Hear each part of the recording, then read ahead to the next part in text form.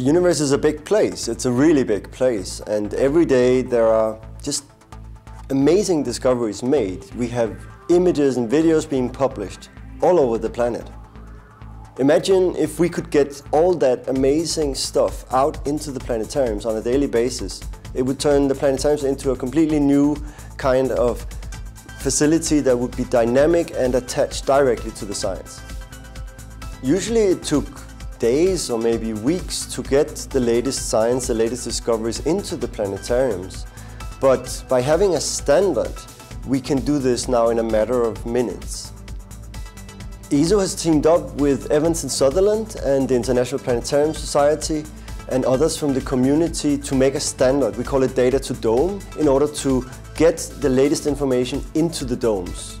In a sense, the vision of the Data to Dome is to seamlessly integrate images and videos into the planetariums worldwide. The International Planetarium Society is working hard to bring cutting-edge science into planetaria around the world. Data to Dome will help enable this by bringing images, datasets, and press releases straight from the researchers into the planetarium dome. Well, imagine that you come in in the morning as a planetarium presenter and on your desk in front of you, you have the latest things, the latest images, the latest news, the latest videos, and you can pick maybe the latest data sets from telescopes around the world and in space. You can be a kind of astronomical weatherman who could then pick from those and present exactly what you feel is relevant to your community. This is paradigm shifting technology. It's actually pretty simple. The Data to standard describes how observatories and agencies such as ESO, NASA or ESA can publish JSON feeds with all the images, videos and other content they have.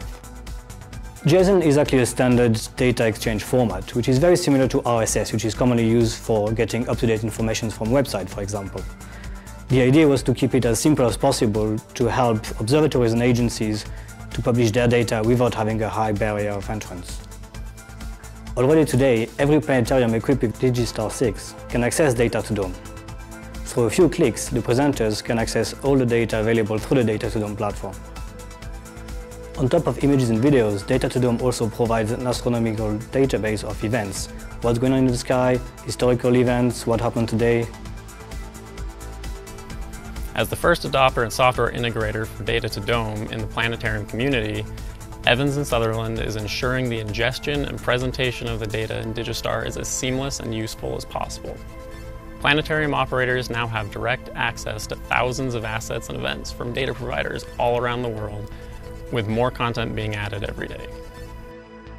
Of course, we have to help people along and we have to also curate uh, and pick among the many things that happen. And this is part of the system as well. We're really excited to work with Evans and Sutherland and our partners in the community around this common project.